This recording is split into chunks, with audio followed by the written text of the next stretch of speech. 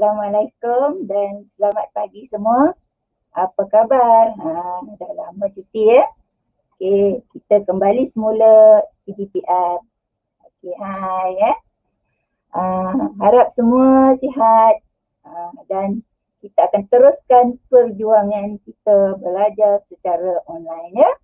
Uh, cikgu harap semua modul yang cikgu beri uh, kamu dapat habiskanlah uh, sebelum peperiksaan akhir tahun nanti ya.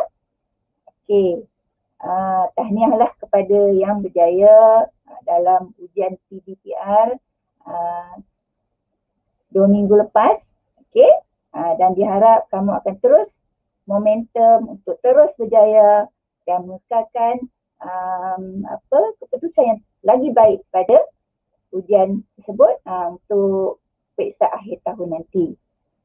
Okey, uh, jadi cikgu harap uh, masih jangan lupalah apa yang pernah kita belajar dulu iaitu uh, pilihan raya, uh, bagaimana pilihan raya tu uh, dilaksanakan dan latar belakangnya ya. Ada yang masih ingat? Okey, uh, ada uh, tiga jenis pilihan raya ya. Uh, siapa ingat boleh type lah di ruangan chat. Okey, uh, dah cuti lama ni harap uh, tak lupalah apa yang telah dipelajari. Okey, untuk hari ini uh, kita akan teruskan ulang kaji sebab ini dah belajar dalam kelas offline. Uh, jadi hari ini kita sebagai ulang kaji baliklah untuk mengingatkan uh, semula untuk mengukuhkan uh, pengetahuan anda lagi ya. Okey, untuk uh, tajuk hari ini iaitu subtopik apa 8.3 iaitu penubuhan majlis perundangan persekutuan. Okey, ha walai. Okey bagus ya. Panggil lagi kawan-kawan ramai-ramai lagi masuk kelas ya. Okey. Jadi uh, kita dah tahu bagaimana latar belakang pilihan raya. Okey, bagaimana pilihan raya itu uh, berkembang, uh, ada berlakunya pemuafakatan antara kaum uh, dan berjaya lah ya.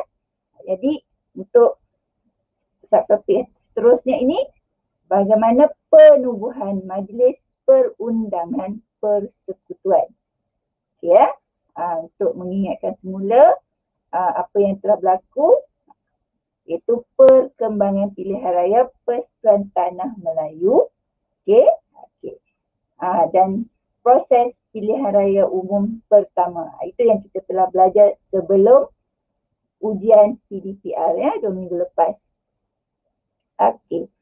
Uh, jadi kita akan teruskan penubuhan Majlis Perundangan Persatuan dan juga peranan Kabinet pertama Persekutuan Tanah Melayu. Okey. Ha, jadi uh, untuk penubuhan Majlis Perundangan Persekutuan ni dia ada tiga iaitu Majlis Perundangan Persekutuan 1948 uh, kemudian Majlis Perundangan Persekutuan 1955 dan kesan penubuhan perundangan persekutuan. Okey ya. Jadi uh, kalau kamu uh, nak lebih baik kamu uh, sediakan buku lah. Uh, Okey. Sambil-sambil ni dengar kita lihat juga buku teks.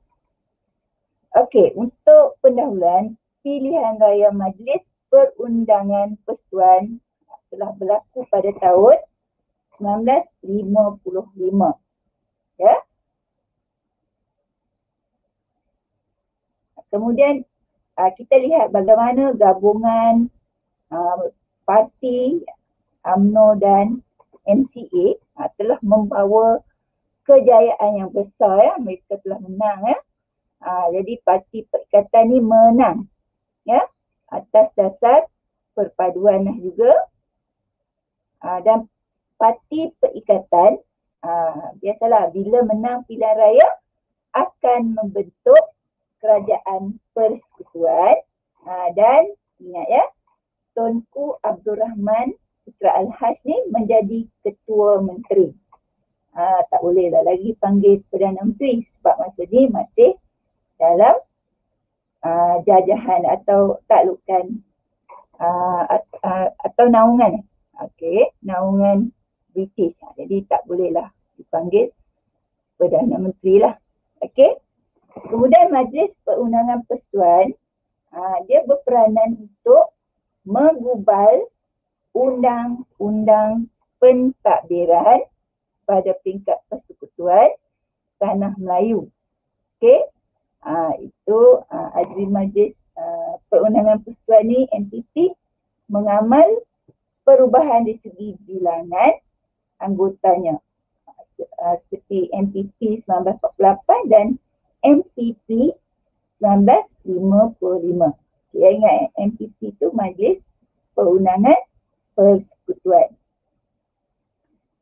Okey, uh, kita lihat dulu Majlis Perundangan Persekutuan 1948. Okey.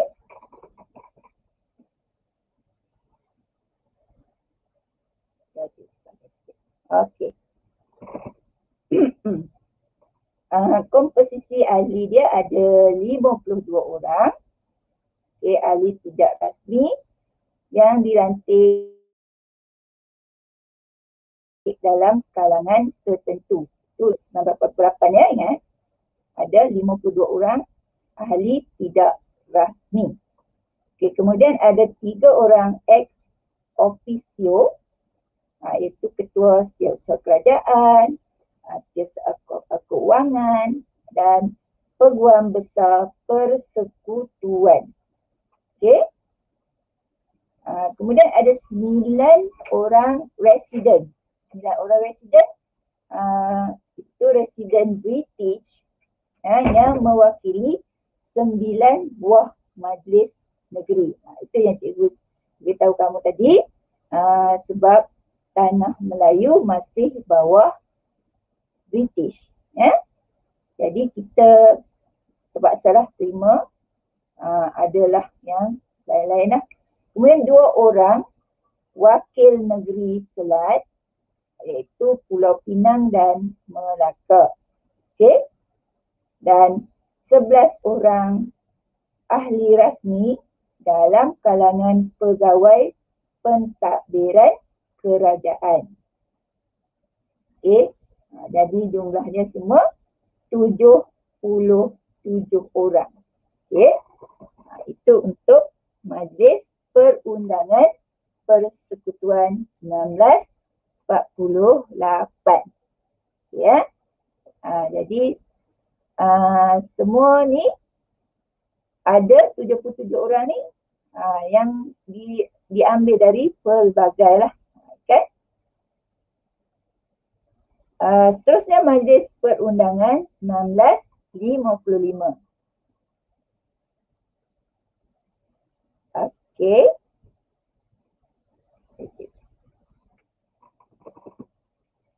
Untuk 1955 kita lihat uh, kemud uh, ini beza dia. Tadi dipilih uh, daripada uh, maknanya bukan dari pilihan raya lah. Okay. Uh, kali ni uh, bila ada persetujuan uh, pilihan raya 1955 uh, dia dah berubah 52 ahli dipilih melalui pilihan raya. Okey? Ha, kemudian 35 orang ahli lantikan uh, mewakili kumpulan berkepentingan seperti usahawan, pelubungan, perindustrian dan pertanian. Ya. Uh, dan seterusnya 11 orang menteri besar Uh, kalau sebelum ni kita lihat presiden kan. Uh, sekarang ni dah berubah menteri besar mewakili negeri. Uh, ini masih kekal iaitu dua orang wakil negeri Selat iaitu uh, Pulau Pinang dan Melaka. Jadi jumlah keseluruhannya adalah seratus. Okay, ya. Kenapa kita kena tahu ini? Uh, jika ada buat ada soalan lah. Kadang-kadang soalan objektif ni uh, dia akan bertanyakan atau uh, memberi uh, tentang apa per- perbandingan. Uh, jadi kita akan lihatlah mungkin ada persamaan kan. Okey, majlis perundangan persekutuan. Okey, uh, ini sebagai kita untuk pengukuhan lah. Okey. Uh, 52 orang ahli tidak rasmi uh, yang tadi itulah. Uh, kemudian tiga orang ex official, sembilan orang resident, dua orang dan sembilan belas orang untuk uh, ahli rasmi dari kalangan pegawai, pentadbiran. Kalau ini sama tadi eh, dengan yang 55. Ha, cuma ini dah berubah sebab 55 ahli ahli dia dari pilihan raya. Okey. Itu 1948. Uh, dan kita lihat uh, di 1955 uh, dah berubah. Okey, boleh lihat perbandingan. Sini 52 orang ahli tidak rasmi uh, daripada masyarakat manalah dia akan pilih lah kan. Uh, kemudian uh, 52 ahli uh, di sini beza dia.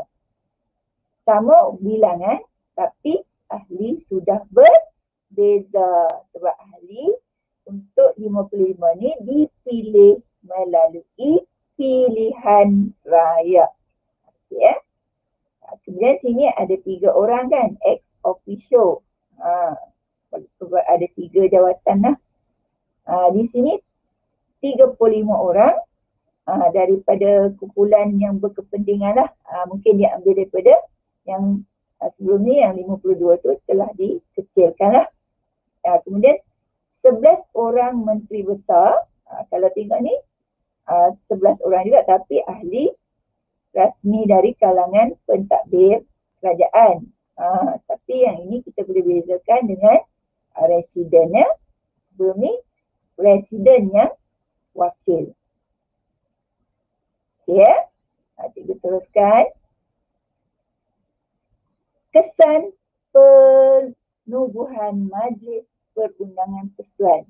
Okey, kalau kita lihat daripada perbezaan tadi, uh, secara secara tidak langsung kita dapat uh, tahu mesti ada kesan ya. Ha, sebab sebelum ni ha, sepenuhnya ha, okey. Antara yang kesan adalah ketua kerajaan. Ha, ketua kerajaan dah ha, ubah okey.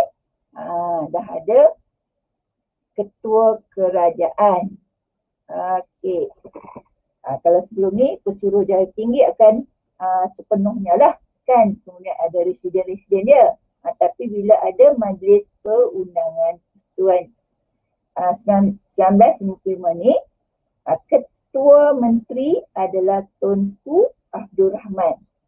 Okey. Uh, ambil alih dari pesuruh jaya tinggi British. Uh, jadi uh, dah adalah uh, orang orang kata orang tempatan atau pribumi yang menjadi ketua menteri. Uh, kalau tidak semua urusan terus pada pesuruh jaya tinggi British. Okay, ha, sangat besar ya kesan ni. Kemudian pesuruh jaya tinggi British, dia masih memegang tampuk kepimpinan tingkat atasan untuk menentukan hala tuju negara. Okay, ha, jadi ha, bila berlaku ini, kuasa pentadbiran beransur-ansur dipindahkan kepada rakyat tempatan. Uh, itu kesan yang sangat besar lah walaupun dia nampak orang kata kecil. Uh, tapi uh, kata sedikit-sedikit lama-lama jadi bukit kan. Uh, kemudian pegawai British dia masih berperanan sebagai penyedia. Dia letak jugalah uh, pegawai British ni sebagai penyedia dan penasihat bidang keselamatan. Maknanya tak lepas sepenuhnya lah.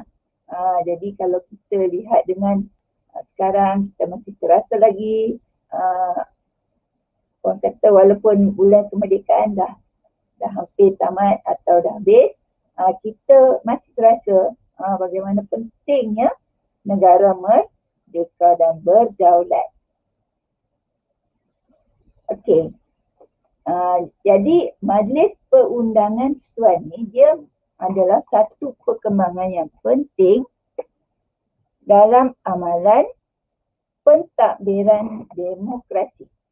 Ha, sudah ada ha, rakyat dah berkuasa untuk memilih wakil. Ha, jadi ada berlakunya demokrasi.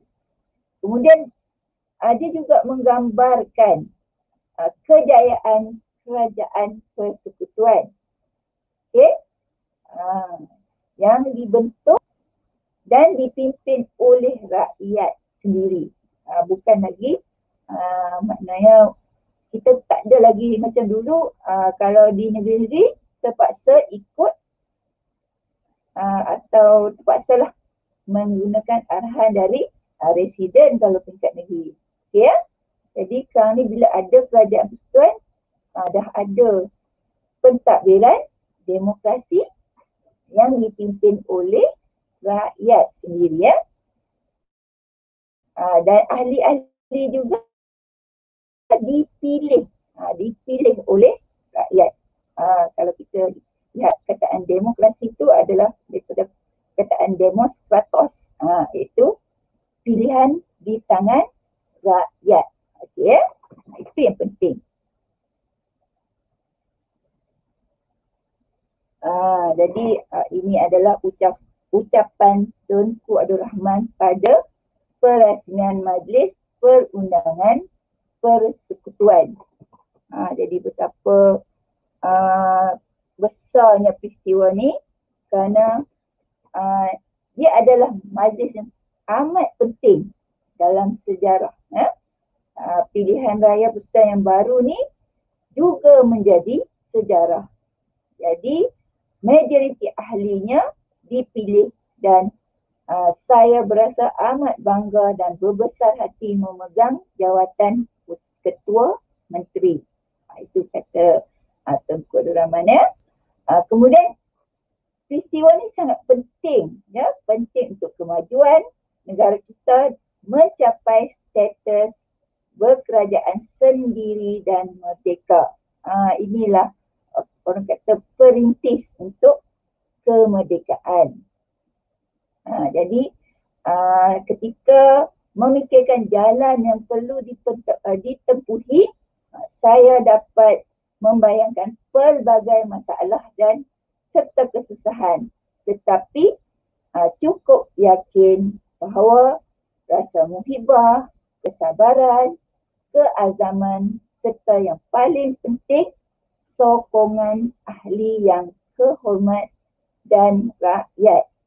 Jadi se- segala halangan atau cabaran tu dapat ditempuhi dan diatasi.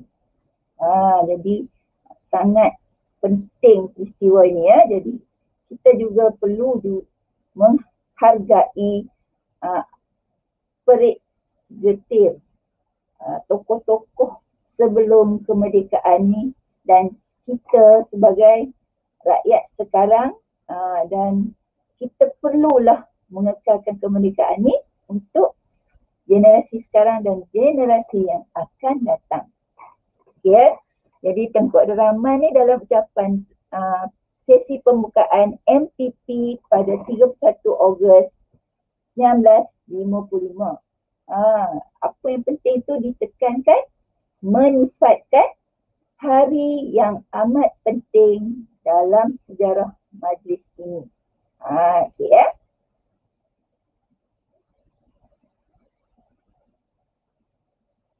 Okay, ha, itu adalah gambar-gambar ha, yang berkaitan lah dengan ha, majlis.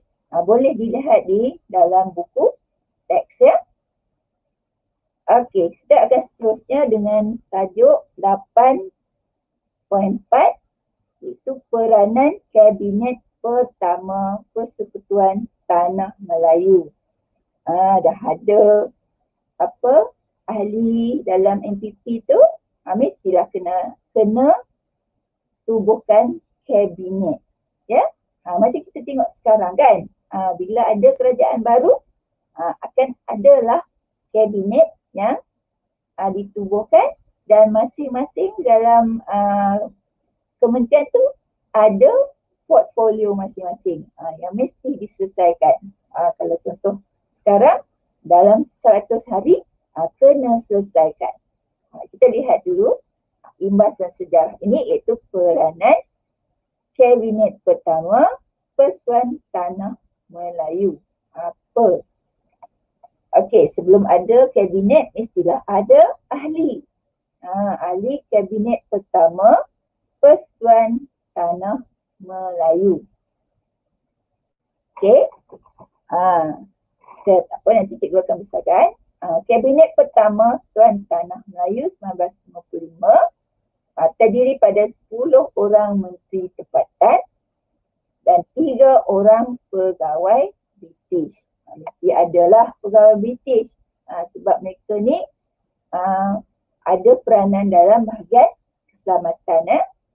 Jadi tiga orang pegawai British ni akan bertindak atau sebagai setiausaha kewangan, setiausaha hal ehwal ekonomi dan setiausaha pertahanan. Okey, ha, dan jemaah menteri ini ha, telah diumum dengan rasminya oleh Sir Donald McDelivery. Ah, okey ya selesaikan. Okay, jemaah menteri ini diumumkan dengan rasminya oleh Sir Donald McGillivray. Okay, ya? Di mana uh, Sir Donald ni adalah pesuruh jaya tinggi British pada 4 Ogos 1955 di King's House, Kuala Lumpur ha, King House ni macam sekarang lah kita kan ada parlimen. Ha, dulu dia panggil untuk ni King House. Ha, tengok nama-nama yang terlibat dalam kementerian yang ada iaitu Tengku Abdul Rahman Putra Al-Haj sebagai ketua menteri. Okay. Seterusnya Datuk Abdul Razak Hussein sebagai Menteri Pelajaran. Datuk Sulaiman Datuk Abdul Rahman Menteri Kerajaan Tempatan dan Perumahan dan Perancang Bandar. Okay.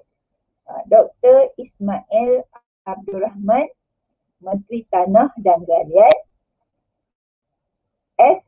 H. Lee Menteri Pengangkutan, Sardon Jubir, Menteri Kerja Raya, VT Sambatan, Menteri Buruh, Leong Yuko, Menteri Kesihatan, Ong Yuk Lin, Menteri Pos dan Telekom, dan Abdul Aziz Ishak, Menteri Pertanian. Kalau kita lihat sini uh, dua uh, dua parti lah uh, yang, yang telah bergabung menjadi parti Perikatan uh, dan mereka ni telah diberi jawatan dalam kabinet pertama. Okay, ya, yang pentingnya adalah uh, ketua dia atau ketua menteri tu dipanggil uh, uh, jawatan dipanggil ketua menteri uh, diketuai oleh Tengku Abdul Rahman Putra Al-Hajj. Okay. Okay lah. Cikgu tengok di ruangan chat. Uh, tak ada masalah. Alhamdulillah. Harap akan teruslah. Okay ya. Tak ada berubah. Okay. Uh, ini dibesarkan lagi lah. Uh, yang tadi lah. Kalau mungkin tadi kamu terlepas. Uh, ini adalah ulangan semula. Uh, Tengku ada ramai ketua menteri kan. Jadi ada 10 10 uh, menteri lah, kementerian ya. Uh, dan yang lain-lain tadi kan ada 52 orang uh, akan membantulah yang 10 orang ni. Okey. Peranan kabinet pertama. Apa peranan dia? Okey, bila dah ada menteri uh, untuk bidang masing-masing, uh, kena ada peranan kabinet pertama ni. Okey ya. Uh, membincangkan soal keuangan. Okey. Sikit. Uh, membincangkan soal keuangan dan keperluan orang tempatan dalam perkhidmatan awam. Uh, Okey eh. Jadi kena bincang lah sebab bajet ni penting eh. Uh, orang tempatan, perkhidmatan awam eh. Okey, menyambung sistem yang diguna pakai dalam majlis mesyuarat persetujuan yang berasaskan model Westminster. Ha. Okay, semua semua orang sebutlah. Ha, walaupun kita tak nampak tapi sebut.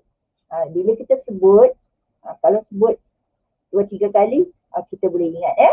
Ha, model Westminster. Ha. Okay. Ha, inilah model yang dipakai ya. Mengurangkan kuasa pentadbiran British. Uh, jadi sebab uh, British ni uh, kuasa dia sebelum ni sangat besar, uh, akan cuba dikurangkan lah. Uh, meminta kuasa veto, uh, kuasa veto ni kuasa, orang kata kuasa yang boleh membatalkan lah. Uh, kalau kata kita nak laksanakan apa-apa, bila ada kuasa veto ha, terus tak jadi. Ha, terus ubah orang kata. Ha, jadi itu ketua veto pesuruh jaya tinggi dibatalkan. Ha, bila ada dibatalkan ha, lebihlah peluang untuk bersuara. Kalau tidak ha, apa yang diminta akan dibatalkan melalui kuasa veto ni. Okay boleh faham ya? Ha, kita tengok tak ada siapa tanya ni mungkin dah faham lah ya. Kemudian membincangkan isu keselamatan dalam negeri. Okey, membincangkan isu keselamatan dalam negeri. Ha, itu jadi peranan dia ada lima. Okey, ha, nanti bila selesai kita punya ulang kaji yang sepenuh ni, cikgu akan bagi uh, formula lah uh, dan harap kamu juga bina lah formula yang senang-senang, smart untuk menghafal sejarah. Uh, jadi ada lima ni kalau kamu buat satu, uh, mungkin akronim ke kan, uh, lagi mudah nak hafal. Okey, kita lihat istilah model West Westminster. Apa dia model Westminster ni? Adalah sistem pemerintahan demokrasi mengikut Britain. Uh, kita kan masih baru, masih belum tahu macam mana apa dia demokrasi. Jadi diberi satu model, uh, kita ikutlah uh, sistem demokrasi tu uh, yang telah diguna di Britain. Okay? Ah, dan satu lagi istilah yang tadi kita cikgu dah beri uh, tak sedikit lah penerangan iaitu kuasa veto. Uh, hak atau kuasa penuh yang diberi kepada pihak tertentu sahaja dan kuasa dia pembatal. Uh, kalau kita lihat dalam uh, PBB uh, uh, sendiri, kalau sekarang uh, kamu lihat oh ada sebut kuasa veto. Amerika Syarikat ada kuasa veto. Ha, itulah maksud dia dia ada hak atau kuasa penuh yang diberi kepada pihak tertentu sahaja. Maka semua orang yang ada ha, dan ada kuasa pembatal. Okey. Ha, kita lihat pula apa tugasan mereka ni. Eh. Ahli Kabinet Pertama Persekutuan Tanah Melayu. Okey, Kabinet Pertama Persekutuan Tanah Melayu memperlihatkan barisan pemimpin yang berwibawa. Mereka ni sangat bersatu hati.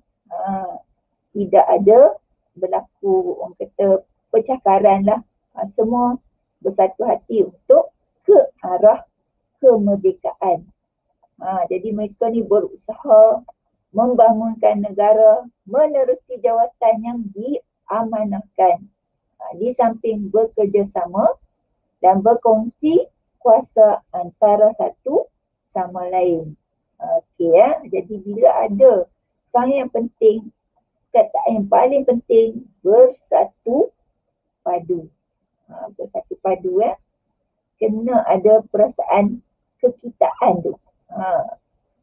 Jadi kita lihat macam ketua menteri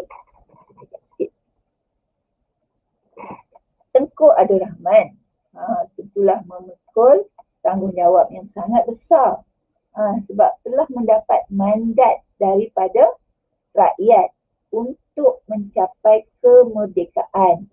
Ha, kalau kita lihat bagaimana peristiwa ha, sampai rakyat sanggup untuk mengeluarkan harta ha, mereka ha, memberi sokongan lah nanti. Ha, jadi itu adalah yang perlu dipikul. Ya. Kemudian Menteri Pelajaran ha, Datuk Abdul Rahman Razak Hussein okay, berperanan penting untuk membina bangsa yang bersatu melalui sistem pendidikan. Sebab sistem pendidikan ni itu penting. Ha, kalau kita fikir kenapa lah kena belajar? Belajar itu penting. Ilmu itu penting. Ha, okay? Ha, jadi sebenarnya bila um, ada satu sistem pendidikan uh, akan berlakulah perpaduan. Okey. Kemudian WT Sambatan. Uh, tugas terawalnya bersama Menteri lain menjadikan perkhidmatan awam bercorak tempatan. Uh, kalau sebelum ni perkhidmatan awam semuanya diketuai oleh uh, orang British. Uh, cuma yang bahagian-bahagian rendah sajalah untuk orang tempatan kan. Uh, kemudian beliau mengurangkan pegawai Eropah dalam Malayan Civil Service atau MCS secara berperingkat. Tak bolehlah terus buang kan nanti apa pula. Uh, Okey. Kemudian Leong Yu Ko. Okey, beliau dikehendaki menjalankan rancangan secara meluas dengan meningkatkan mutu perkhidmatan perubatan dan kesihatan secepat mungkin dalam tempoh negara menuju ke berkerajaan sendiri. Ha, kalau macam sekarang kita hadapi pandemik kan, ha, tak, dulu ada juga ha, berbagai wabak, penyakit yang bahaya seperti taun kan. Jadi pentinglah okay, untuk menjaga kesihatan rakyat. Ha, okay.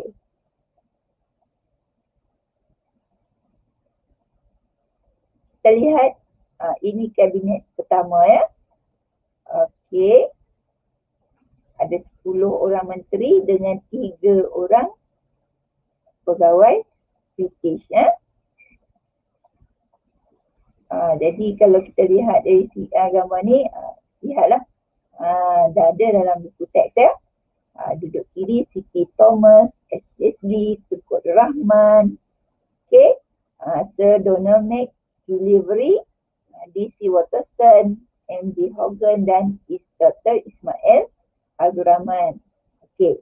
Uh, kemudian ada seterusnya lah. Abdul Razak Hussein, O. Spencer kan. Abdul Aziz, itu semua kita boleh dapat di dalam. Boleh tengoklah.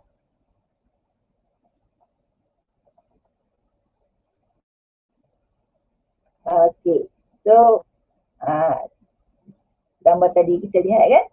Semua ni penting uh, diwar-warkan kepada rakyat. Uh, sebab rakyatlah yang memilih kabinet tersebut. Ha, dan kita lihat perkataan yang penting di sini penyatuan bangsa. Ha, penyatuan bangsa dalam kabinet 1955. Okey. Ha. Uh, siapa ingat lagi apakah maksud kuasa veto? Ha, Okey, boleh tulis di ruangan chat sekarang. Sebelum kita uh, nak habis dah lah. Setelah ni takut lupa. Ya.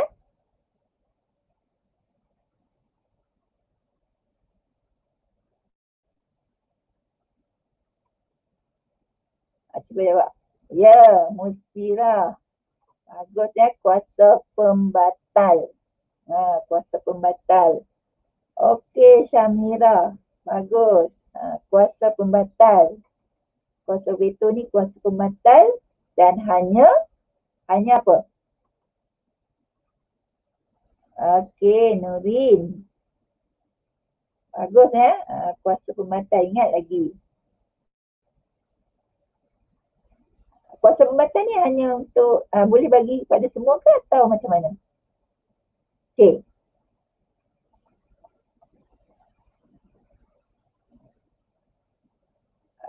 Jadi ini ya penyatuan bangsa dalam kabinet 1955. Okey, apakah model yang digunakan ha, dalam dalam uh, kabinet ni? Dia guna model apa? Jadi uh, cikgu dah beritahu model apa dan dari digunakan di mana? Okey. Uh, kita pun dah habis.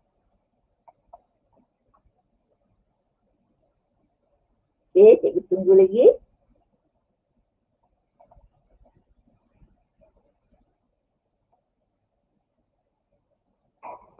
Okey, bagus Muspira. Model Westminster. Ha, ejaan yang tepat ya. Okey, tadi dah ingat kuasa pembatal. Kemudian model Westminster. Siapakah ketua menteri pertama dalam kabinet uh, pertama ni. Okey. Siapa ingat? Siapakah yang memegang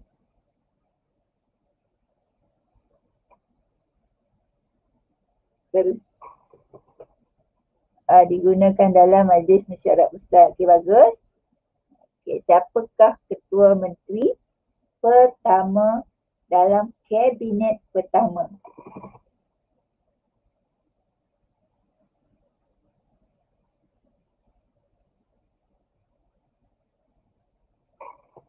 Okey, Tukuk Deraman Putra Al-Haj. Ha, bagus. Okey.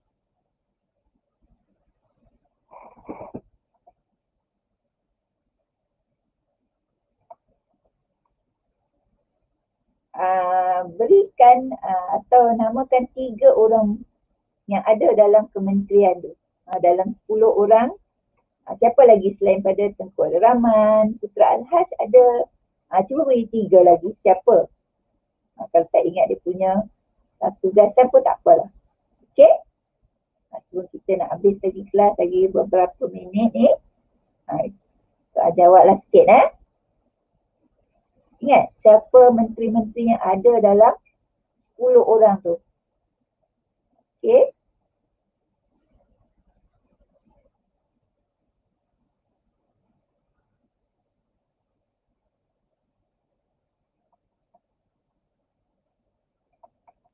Okay, uh, jadi uh, uh, bagus ada. Nurin eh dengan Irma.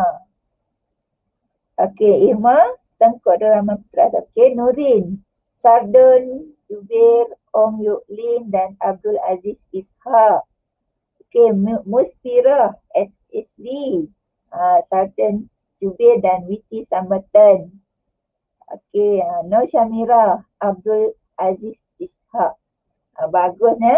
Uh, sangat fokus dalam kelas hari ini. Hmm. Irma Hasmi, Sardun Jubir. Okey. Ha, kita kena macam tu lah. Ha, jadi cikgu harap kamu semua dapat membuat latihan. Okay, latihan objektif penting ya sebab objektif markahnya sangat besar kalau dulu uh, tak sama. Okay, sekarang ni kalau objektif lah uh, kamu penanda aras ya untuk mendapat A. Uh, mesti objektif kamu kena kuat. Uh, jadi cikgu harap semua dapatlah menyiapkan uh, soalan objektif kamu. Okay. Uh, dan uh, jangan lupa lah uh, kerja-kerja yang ada tu mesti siap dan kita akan mungkin akan ada lagi uh, kerja yang baru kita akan bagi lagi lah. Uh, jadi siapkanlah dulu dua modul yang ada. Okay, uh, cikgu uh, mengucapkan uh, terima kasih kerana sem- masih uh, fokus lagi dalam kelas dan uh, untuk kelas hari pagi ini kita akan berakhirlah uh, di sini. Okay, uh, terima kasih. Assalamualaikum. Bye.